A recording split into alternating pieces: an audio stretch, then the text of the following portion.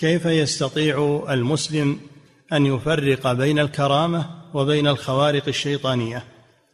ينظر إلى من تجري على يديه. إن جرت على يد عبد صالح مستقيم فهي كرامة.